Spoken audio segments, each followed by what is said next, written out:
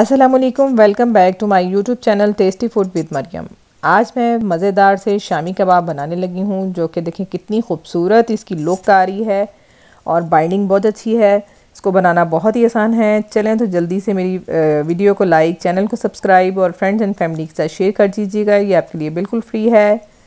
Let start Shami के लिए पहले टू टेबल स्पून धनिया पाउडर वन टेबल स्पून हम ब्लैक सिनेमम लेंगे वन टेबल स्पून हमने वाइट सिनेमम लेना है वन टीस्पून हम हल्दी पाउडर लेंगे और वन जो है वो किन्नौर की क्यूब लेंगे इससे बहुत अच्छा टेस्ट हो जाता है। One and half tablespoon salt. According to taste कम या ज़्यादा कर सकते हैं टू टेबल स्पून हम जिंजर गार्लिक पेस्ट लेंगे ट्वेल्व मैंने यहाँ पर ली हैं रेड चिली जो फ्रेश होती है।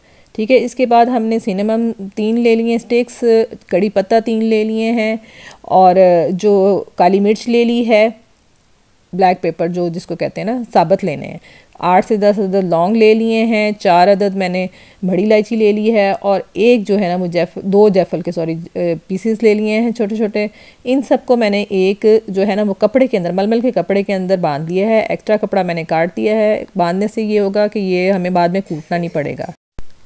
नेक्स्ट हमने वन एंड हाफ़ कप चना दाल ली है। वन एंड हाफ़ के जी ही मैंने जो सा है वो चिकन लिया है। ये ब्रेस्ट पीसेस लिए हैं तो इसको अच्छी तरह वॉश करके साफ़ कर लिया। फिर कुकर के अंदर मैंने जो मसाला जात, मलमल के कपड़े में डाले थे, वो एक कप पानी डालकर उसमें मैंने इसको भिगोया और साथ इसके अंदर चने की दाल जो भिगोई हुई थी, वो डाल दी। वो तकरीबन तीन चार घंटे पहले सूखी हुई थी। चिकन ऐड कर दिया और इसके साथ ही जो तमाम मैंने ड्राई मसाला जात आप पहले हमने लिखे हैं, वो तमाम इसके अंदर डाल देंगे और बहुत ही ये मज़े के फ्रेंड्स बनने वाले हैं, ज़रूर इसको बनाइएगा और ये किनौर की क्यूब्स जो डाली है, इससे इसका टेस्ट बहुत अच्छा हो जाता है। सॉल्ट मैंने जो लिए, लिया है ये ठीक है, इसको हम बाद में भी टेस्ट करेंगे, अगर हमें सही लगेगा तो ठीक है, नहीं लगेगा तो हम इसमें थोड़ा सा और भी डाल सकते हैं, क्योंकि सॉल्ट तो बाद में डाला जा सकता है।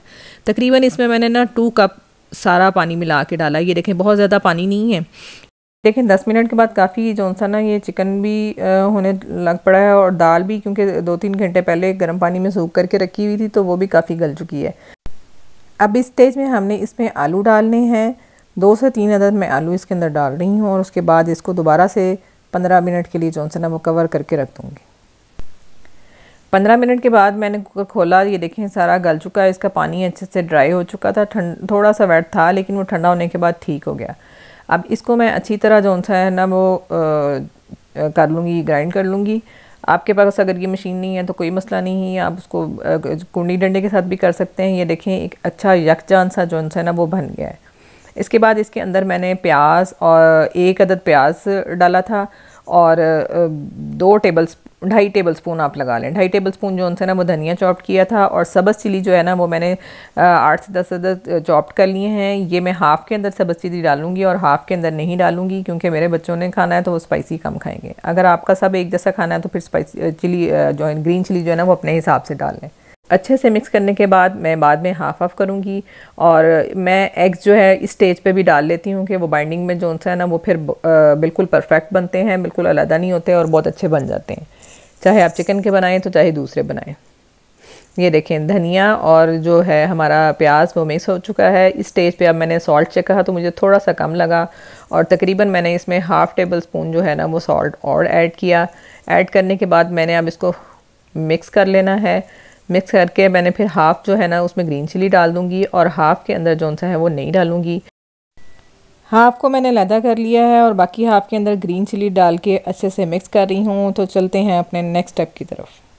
जी तो फ्रेंड्स फाइनली हमारा जो फाइनल राउंड आ चुका है, इस तरह हाथ से भी पहले मैंने आपको बनाने सिखाए हुए हैं सांचे के साथ बनाने, लेकिन हाथ से भी ये देखें बहुत अच्छी शेप बन जाती है। इसी तरह मैं अपने सारे कबाब बनाऊँगी और फ़िलहाल अभी मैं चार से पाँच अदद जो है वो फ्राई करूँगी और बाकी जो है बना के हम फ्रीज़ करके रख सकते हैं। इसको महीना डेढ़ जो है वो यूज़ करें, कोई मसला नहीं होता फ्रीज़र से निकालें और जस्ट इसको फ्राई कर लें।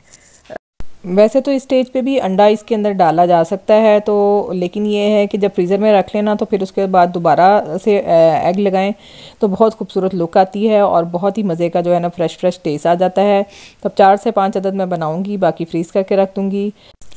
ये देखें हम इसको शेलो फ्राई करेंगे, बहुत ज़्यादा घी नहीं डालना, दो टू टेबल स्पून मैंने तकरीबन ऑयल डाला है। जितने साथ साथ करें, बनाते जाएँ थोड़े थोड़े में बनाएँ तो वो ऑयल कम यूज़ होता है और इतनी देखें कितनी खूबसूरत इनकी लुक आ रही है। बहुत ही मज़े का टेस्ट बन रहा है खुशबू आ रही है। तो ज़रूर बनाइए ट्राई कीजिए और बहुत परफेक्ट बन गए हैं। इनको मैं आपको डिश आउट कर लूँगी। और ये देखें मैं इसको ग्रीन चटनी के साथ सर्व कर रही हूँ। आपको अगर कैचअप के साथ करना है तो कैचअप के साथ कर लें और ग्रीन चटनी की रेसिपी भी मेरी वीडियो आ, मेरे चैनल पे है उसको भी देखिएगा। ये देखें कितने अच्छे जो हैं ये बाइंड हो चुके हैं और बहुत ही मज़े के बने थे। उम्मीद है मेरे दोस्तों को मेरी आज की रेसिपी पसंद आई होगी। इजाज़त लेने से पहले छोटी सी रिक्वेस्ट है मेरी वीडियो को लाइक चैनल को सब्सक्राइब और फ्रेंड्स एंड फैमिली के साथ ज़रूर शेयर कीजिएगा। ये आपके लिए बिल्कुल फ्री है। अल्लाह हाफिज़।